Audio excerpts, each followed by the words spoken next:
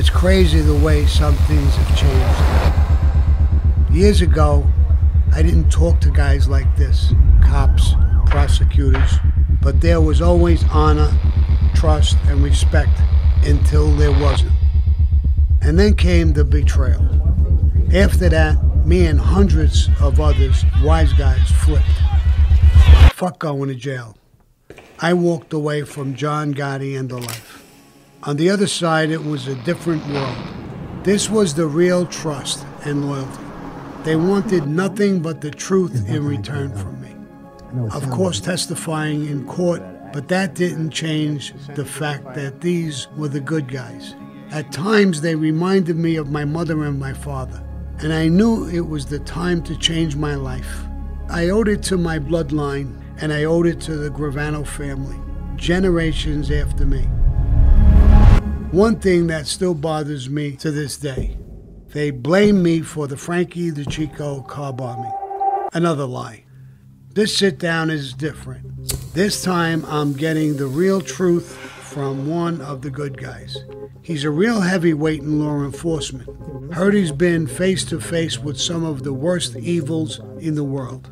And today, he's going to tell me the real story about who was involved with the bombing. He was the guy who interviewed Gaspipe and others when they cooperated, and a whole lot more. Come with me to this meeting. Hear it for yourself. Hi, Michael. Uh, Sammy over here. We're about to do this, you know, meeting. It was long in the making. I talked with Tommy Dades and uh, know a little bit about you. I heard of you years ago, but uh, now we're finally sitting down and having a little chat. Looking forward to it. I'm looking forward to it. Yeah, me too. You're doing some great work. I know you're doing a few books.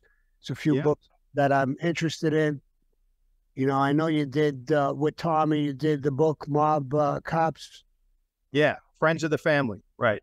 and I'd be very interested in talking about, you know, a lot of the things you are talking about. This uh, child case parts, and you know, a lot of this stuff that you're aware Sure. of. I'd love to hear about that stuff.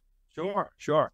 I know that um, when uh, when I got a message from your from Anna, we uh, she'd mentioned the um, the case that I that I ended my other book with, Crooked Brooklyn, uh, which was the case involving a dentist who um, who was basically who was stealing body parts um, from uh, from cadavers. Yeah, that's what I said when I heard about it.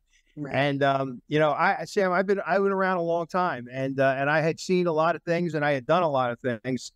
I had never seen or heard of any- anything um, as as horrible and horrific as this. And um, and and you know, when when the prosecutor who first learned about it came to me, uh, I'll, let me take you back into how we how we got this. The um, there was a there was a a, a company uh, uh, that owned many funeral homes around the country, and they bought a funeral home um, in Bensonhurst.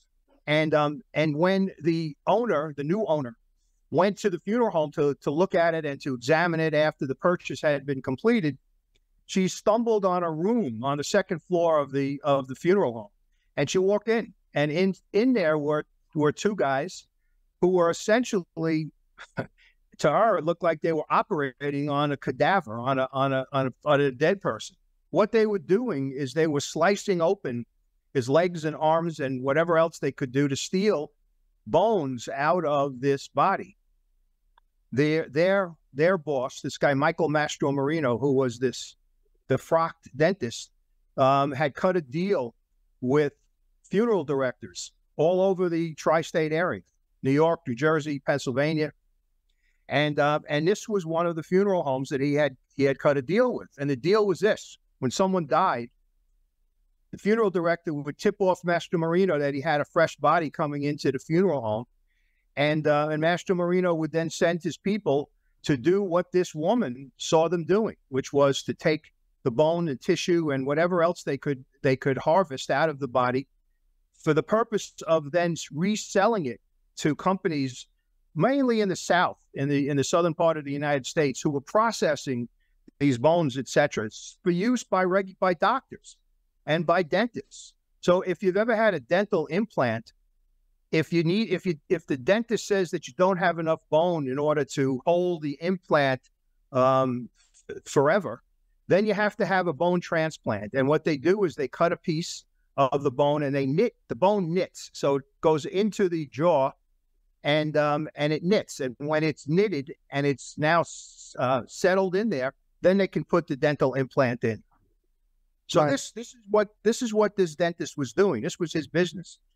And um, and when he lost his license, which he did because he was addicted to to Demerol, um, and and when he was operating one day on on someone's mouth, he actually fell asleep in the middle of the operation, and that was the first. That was one of many violations that he had had things that he had done as a dentist, and he lost his license.